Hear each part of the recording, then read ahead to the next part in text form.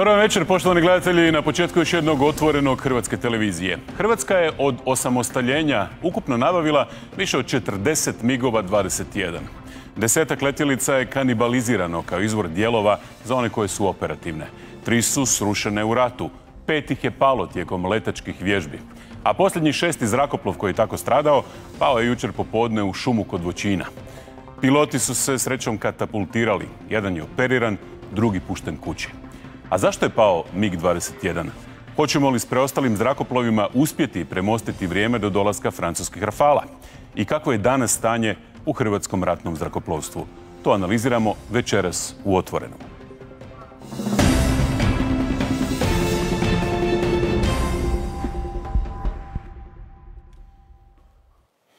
A gosti Otvorenog su Franko Vidović, predsjednik Saborskog odbora za obranu iz redova socijaldemokrata. Dobro večer, dobrodošli. Dobro večer vama i dobro večer svim gledateljima.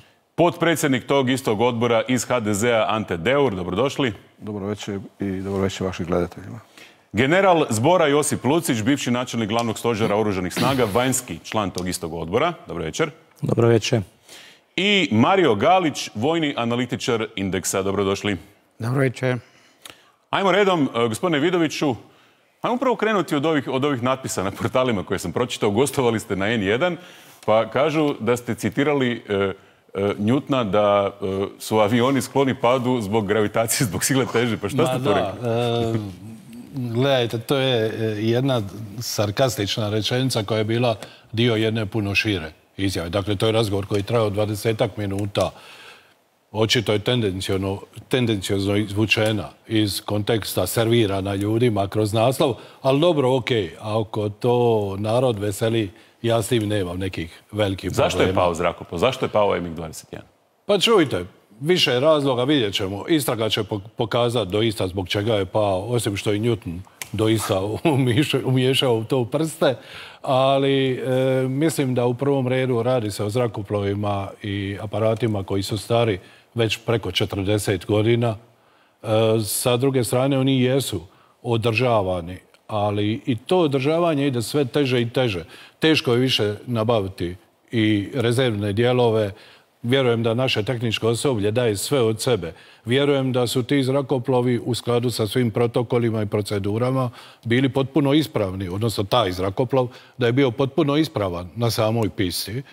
Ali evo, dogodilo se. Dakle, to su stvari koje se nažalost događaju. Događaju se prilikom obuke, događaju se, i što sam jutros govorio, i na najmodernijim zrakoplovima. Prije par mjeseci vam je pao F-35, koji je modern zrakoplov, novi zrakoplov. Dogodilo se. E, ono što je bitno u cijeloj ovoj priči, to je u prvom redu da su naši piloti prošli bez trajnijih ozljeda, hvala Bogu, živi i zdravi, da su njihove obitelji mogu biti mirne, da nije došlo do materijalne štete na civilnim objektima i da u globalu nitko nije stradao.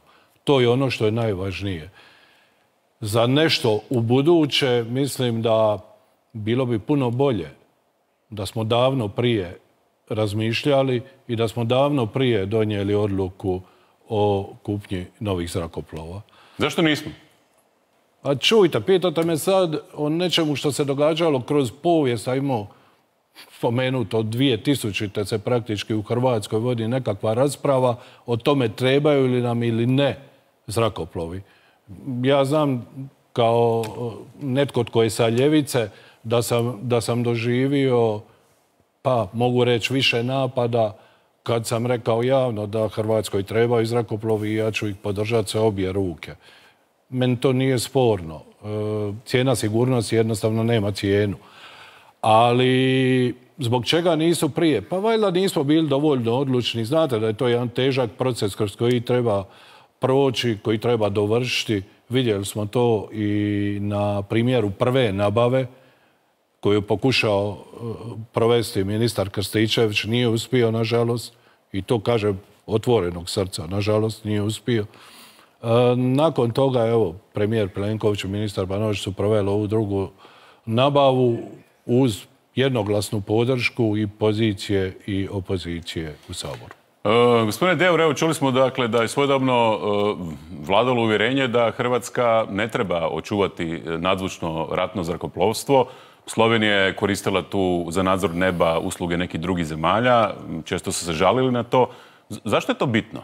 Zašto je bitno da su na plesu e, uvijek dva zrakoplova spremna?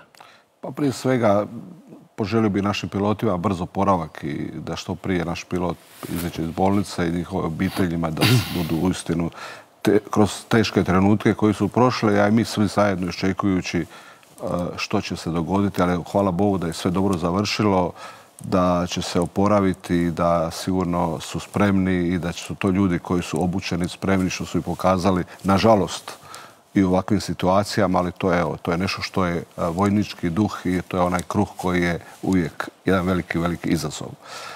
Sigurno vidjeli ste i u nabavci Rafala i u samom parlamentu sa koliko se nerazumijevanja i sa koliko mi kao društvo još uvijek nismo svjesni, iako smo izišli iz rata, iako smo prošli kao narod teške trenutke u nemoći, neznanju, neimanju, ali još uvijek nismo spremni kao društvo, nismo zeli, u tom govorimo o jednom političkom spektru i kod Rafala smo e, u trenucima e, naše kolege zastupnici, mnogi su pa trebamo više škola što je ne, nepobitno, više vrtića što je jasno, e, bolnice, sve je to nešto što je jednom društvu jako bitno, ali sigurnost jedne države koja je izišla nedavno iz rata, koja je toliko još uvijek u jednom teškoj situaciji kroz koje je prošlo, što je neminovno što moramo graditi jednu sigurnost i da bi imali sigurnost, sigurno da moramo raditi u obrani. Ova vlada je preko 7,5 milijardi prvi put od 2000.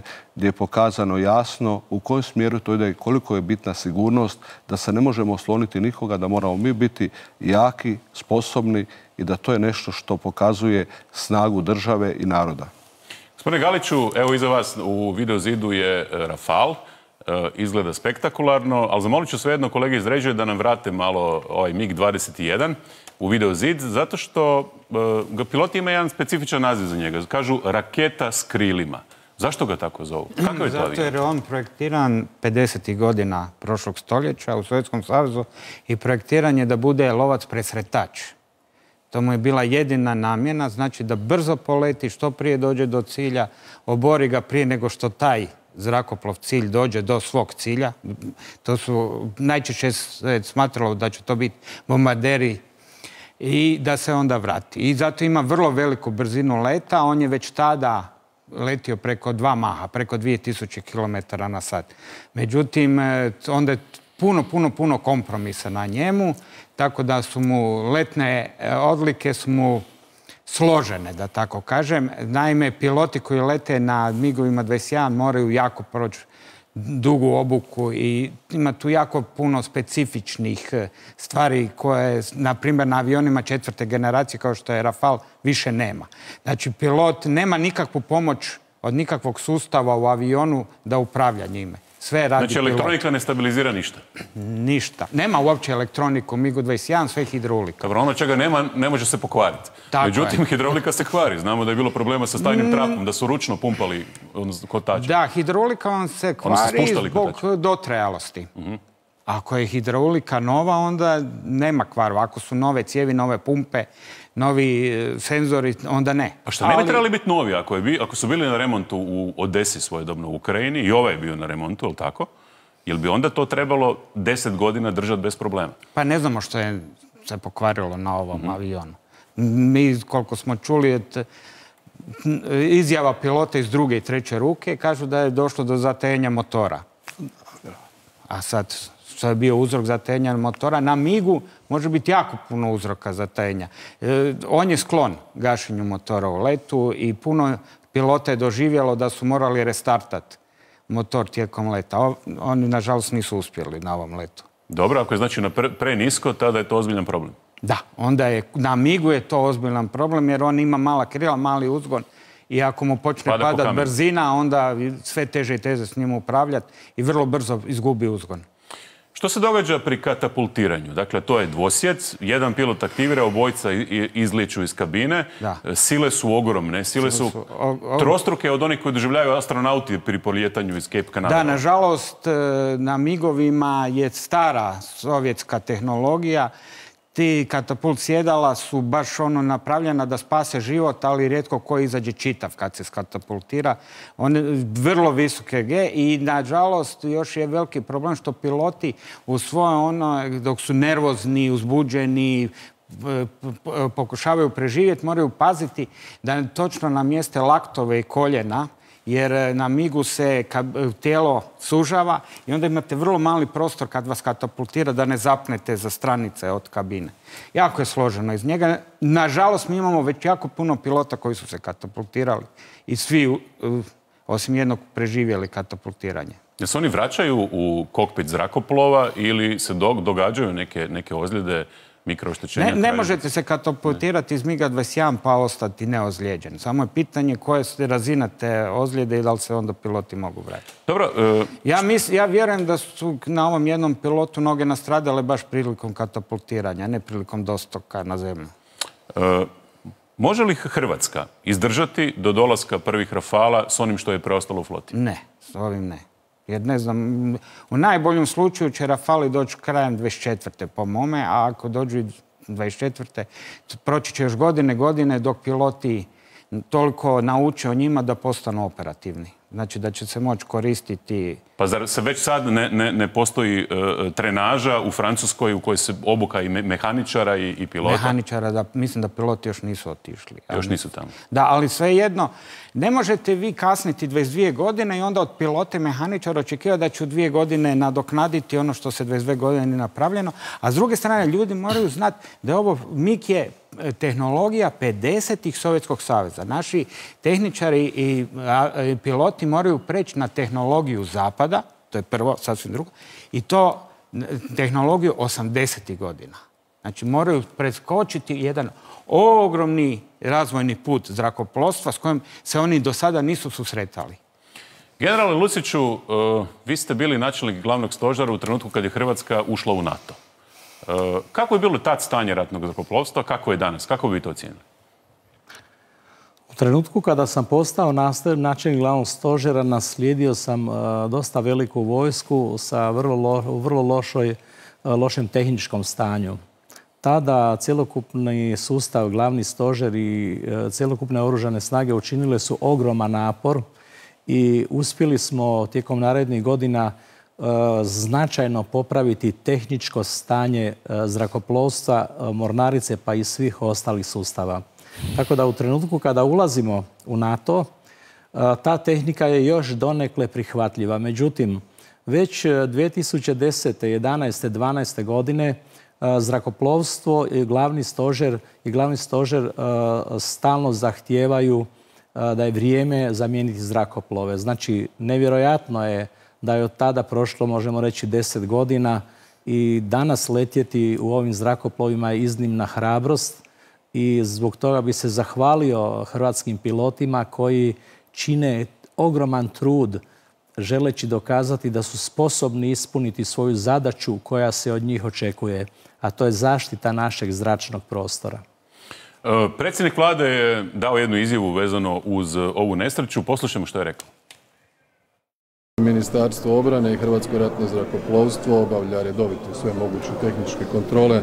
Nikada nijedan avion ne poliječeo da prije toga njega nije netko tehnički pregledao. Prema tome to je pitanje za Hrvatsko ratno zrakoplovstvo, ali strateška odluka koju je donijela naša vlada, ponavljam još jednom, nakon jednog kvalitetnog, ozbiljnog procesa da se odaberu francuski Rafali kao avioni četvrte generacije više namjenski borbeni avioni, avioni koji, by the way, imaju dva motora, vrlo važan detalj, dakle mi smo i o tome vodili računa kada smo odabirali koji tip višenamjenskog borbenog aviona nabaviti za Hrvatsko ratno zrakoplovstvo.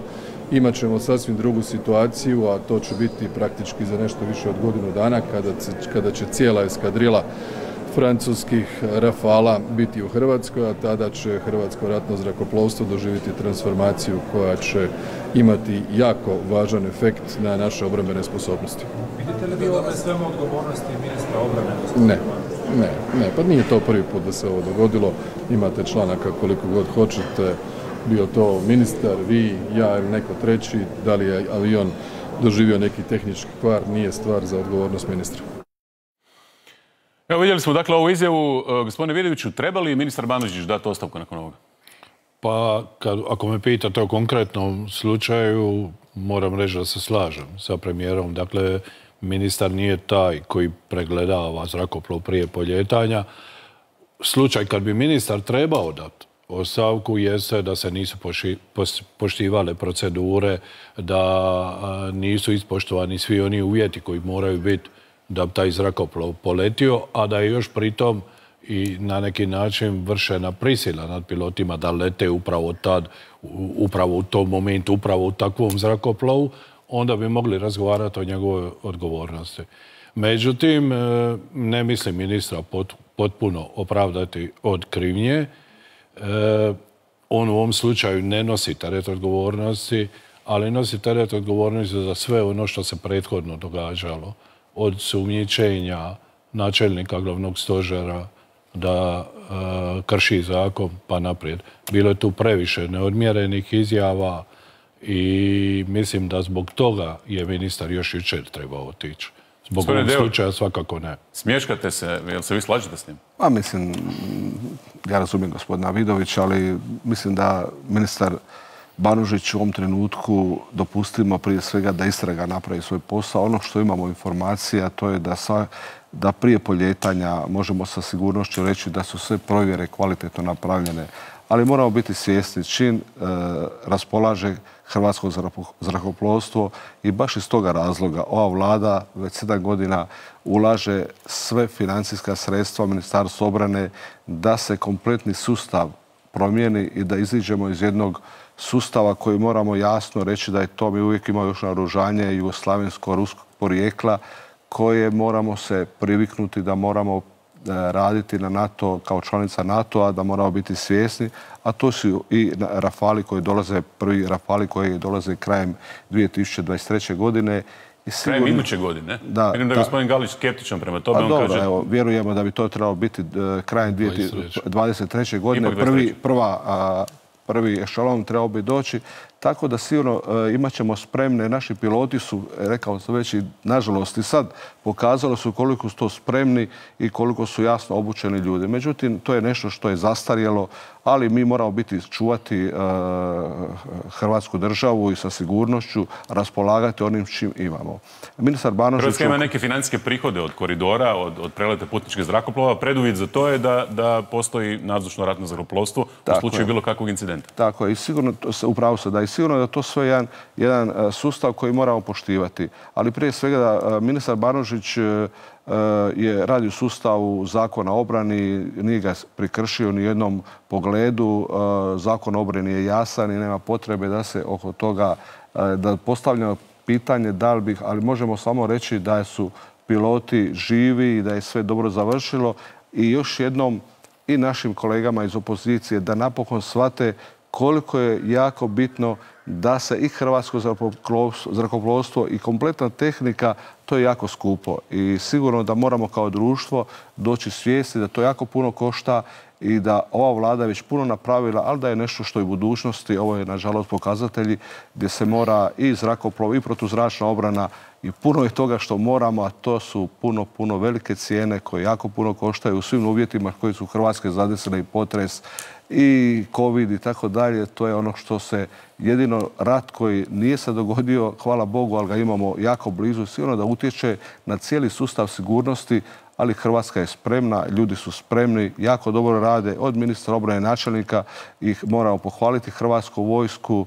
i hrvatske časnike koji rade kvalitetno, požrtvorno, a sve ostalo sigurno ide u jedan sustav koji je pred nama.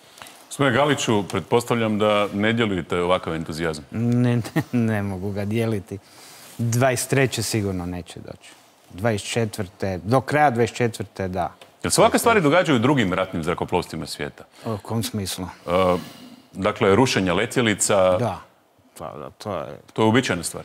Ne, nije baš uobičajena stvar, ali se događa. Dobro, mi smo dakle sada izgubili e, pet plus i šest letjelica do sada, ne računajući e, i neke druge zrakoplove, dakle e, najteža nesreća u, u ljudskim životima, najteža godina je bila 2020. Sjećamo se onog rušenja Kajova Warriora, dakle borbenog helikoptera u Zlarinskom kanalu. Nažalost, dva mlada života su izgubljena. Iste te godine je pao i onaj trenažni zlin. Da. I onda je ministar podnio ostavku Ministar je podnio ostavku tada. kao moralni čin. Dobro. Da, pa što se tiče, spomenuli ste ostavku ministra. U svim demokratskim državama ministri su politički odgovorni za događanje u svom resoru, u svom ministarstvu. I to se mora pričati tako i sada. Međutim, ako će se nečija odgovornost u ov- u ovakvim specifičnim uvjetima u kojima radi naš ministar obrane, gdje im- ima svakodnevne pritiske i od strane predsjednika države, e, prije bi tražio odgovornost neposredno nadređenih, znači načelnika glavnog stožera i, zapovjednika Hrvatskog rat- ratnog zrakoplovstva koji imaju zapovjednu odgovornost. A onda tek bi došlo do ministra koji ima političku odgovornost. Dobro, to ovisi o tome jesu li poštovane sve procedure, je li zrakoplov bio pregledan, je li redovito remontiran. Pa da, a kako ko će to utvrditi? Ja ne vjerujem da će HRZ to utvrditi, da oni nisu, sami sebi utvrditi da nisu poštivali procedure. Znači, vi mislite da nije kriv Banožić, nego Hranj? Ka- ka- po zapovjednoj odgovornosti prvo hranj, a onda tek po političkoj odgovornosti ministar. E, general Luciću, e, kažu da je u stvari e, spremnost nekog sustava prije svega ovisi o materijalnoj podlozi. Dakle, koliko novaca ima u sustavu. Vidimo to i između ostalog po izbjegavanju nabave upravo zbog skupoće te borbene eskadrile. E, kako je bilo u vaše vrijeme? Kako je danas? Pa gledajte, spremnost obrambenog sustava direktno ovisi o visinama proračuna. I ukoliko sagledamo proračun posljednjih e, otprilike 12 godina, vidjet ćemo da je proračun 2011. godine kada završava moja karijera bio e, preko 5 milijardi kuna. Da bi u narednih 7-8 godina proračun se spuštao na 4 milijarde 100, 200, 300 milijuna. Znači u tome razdoblju, a evo podsjetit ćemo se ko je bio tada premijer u tome razdoblju. Znači upravo premijer, e, tadašnji premijer Milanović u vrijeme kada je Milanovićeva vlada vodio ovu državu, četiri godine proračun na najnižim razinama i možemo reći da je u tom u četiri godine najmanje 3 milijarde kuna je uskraćeno Ministarstvu obrane. Znači, e, apsolutno promatrajući proračun možemo govoriti čija je odgovornost za današnje borbeno stanje, borbenu spremnost oružanih snaga. I tko god hoće raspravljati o tome, prvo ćemo staviti brojeve na stol i vidjeti koliko se novaca ulagalo u zrakoplovstvo, mornaricu ili kopnenu vojsku. E, Svjedoci smo ko su danas najžešći kritičari. Ti najžešći kritičari prvo neka pogledaju vrijeme kad su oni odlučivali koliko će se novaca usmjeravati u obrambeni sustav, a ministar Banožić po tome Ministre se određuje po jednom koliko uspijevaju novca osigurati. Po tome je ministar Banožić i današnji premijer Plenković su najuspješniji premijer i najuspješniji ministar po pitanju obrane, jer nikada nije bio ovako veliki proračun, niti su se ovoliki novci usmjerili u borbene sustave. Vrlo jasno to moramo reći, a tko god želi možemo otvoriti vrlo široke teme o ovome. Ako se nije, nije bio tako veliki proračun od završetka domovinskog rata. Kao sad? Pa tijekom domovinskog rata je bio. To druge su proračun. situacije bile. Bila je druga Mirnodopski, situacija. da. Imali smo čak i onaj ratni porez od, mislim, 10%. Od kraja domovinskog rata, na- nažalost, naša politika se sustavno trudi da ne znam kako bi rekao, kulturno uništi Hrvatsku vojsku. Da je, Do posljednje četiri godine. do posljednje, da. Mislim, sveli smo se na 12 tisuća vojnika. Alo.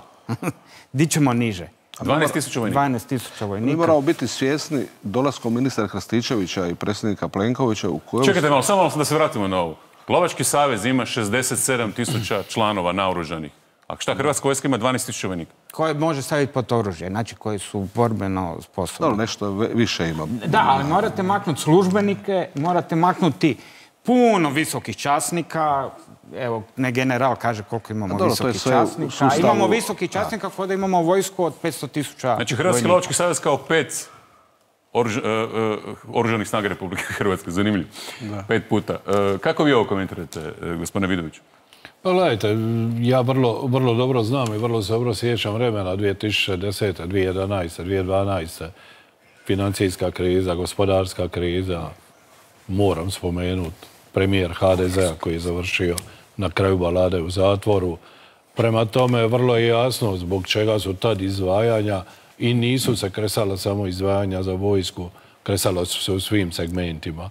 Osjetili su to ljudi u školstvu i u zdravstvu i u drugim djelatnostima. Prema Vojska je tome, nekako najgore prošla. E, pa, mm, ja čak ne bih rekao najgore, ali je užasno to osjetila.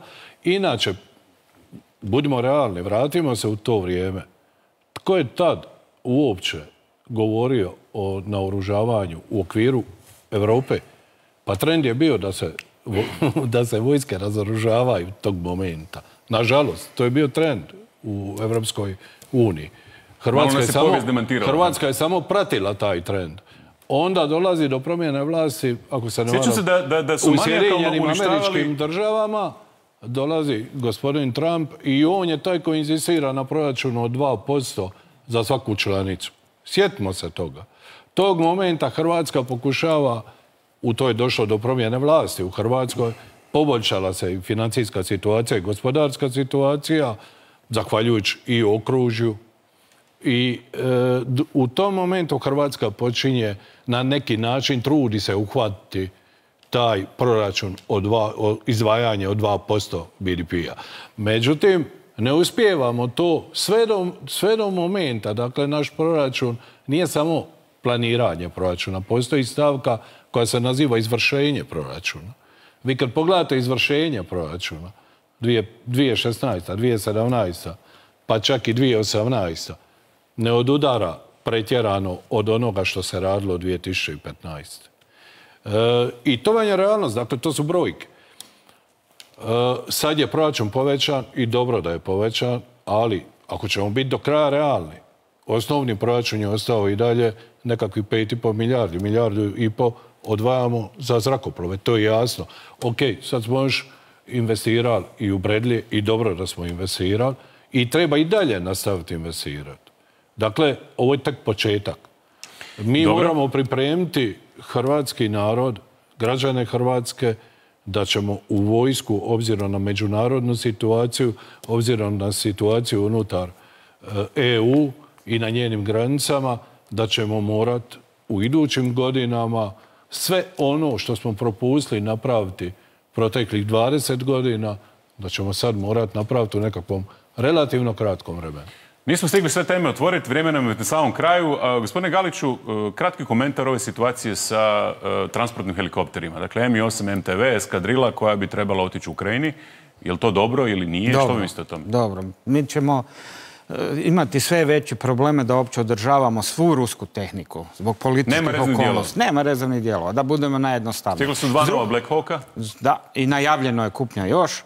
E, Doduše Black Hawk nisu zamjeni za, zamjene za Mi-8, to bi ipak trebali kupiti nešto Mi-8 veće. mo- nosi 24 vojnika pod punom ratnom spremom. Black Hawk upola od toga, je li tako? Ma nije, to, to je pro, najveće problem i najveća razlika je što Mi-8 ima stražnu rampu i u njega možete ukrcati vozilo, a to znači ako vam je, ne daj Bože, zbog neke nesreće potresa potrebno nešto veće prevesti, a Black Hawk može samo podvučeno pod sebe kao vanjski teret i puno, puno duplo manji teret može nositi. Znači, ali će nam ostati ovi novi helikopteri Mi-117, pa ćemo s njima se pokrpati.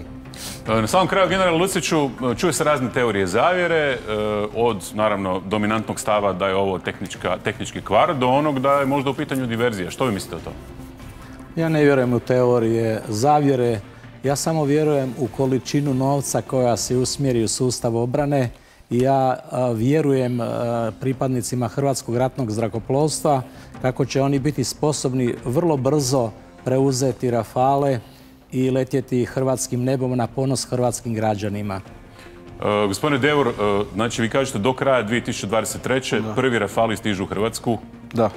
i već skreću letiti na njima? Pa to je prva eskadrila koja bi trebala doći i to je nešto što, je, što se na tome dogovoreno i što vjerujemo da će to biti. E, sigurno još moram spomenuti ova je vlada koja je osigurala sigurnost, koja je osigurala fale. Moramo biti svjesni što je tada premijer Plenković i ministar Krstičević zatekli Hrvatsku vojsku. Današnji predsjednik, tada premijer, svi su imali priliku današnja vlada u sve nedaće gospodarstva, potresa, sve što se događa, što se nije dogodilo u domovinskog rata, uspjelo se ojačati Hrvatska vojska se, svakim danom je bolja, kvalitetnija, vjerujemo i u sam proračun koji se daje, dajmo podršku tome i tražimo da u parlamentu ne budemo nesigurni i e, e, destruktivni kao što je bilo oko Rafala, da bi se nakon toga u svakim događajima nesreća mi tražimo krivce, a ne želimo to napraviti da prije toga kvalitetno imamo sigurnost u parlamentu uz dogovor da moramo imati sigurnost, da nam je potrebno jačati Hrvatsku vojsku kao članicu NATO-a. Mi još raspolažemo sa naoružanjem koje smo zatekli jugoslavensko-ruskog naoružanja i to je jedna tragedija s kojom mi živimo i moramo biti svjesni da iz toga sustava moramo izići. Hoće li biti to konsenzusa, gospodine Vidoviću? U parlamentu oko ovih strateških stvari? Pa, ako, vi vjerujete da će ti Rafali doći do kraja Ako je u pitanju opremanje Hrvatske vojske, što se mene tiče, sigurno hoće. Dakle, mi do sada nismo imali situaciju da je glavni stožer putem ministarstva predložio neku nabavu, a da je odbor to odbio ili glasao ovako ili onako, da pače. Kad su te stvari u pitanju, ako se ne varam manje više, i u ovom sazivu, a i u prošlom sazivu, manje više su sve odluke donesene konsenzusom. Dakle, Optužili su vas da ste pobjegli s odbora, onog predzadnjega. A da, dobro. Puste, to, to, je, to je dio koji se tiče politike. Dakle, e, ja sam jasno objasnio o čemu se radi. Jasno sam se pozvao na kraju i na moje pravo kao zastupnika da imam pravo i tumačiti ustav i razumijevati zakone pa razumijevati u skladu s tome i poslovnik vlade. I to je moj stav. I tu stajem. Za, to me ljudi biraju. Hvala vam lijepa na gostovanju večeras u Otvorenom. Poštovani gledatelji, hvala i vama na pozornosti. E, ostanite uz Hrvatsku televiziju. Uskoro kreće treći dnevnik. Laka vam noć.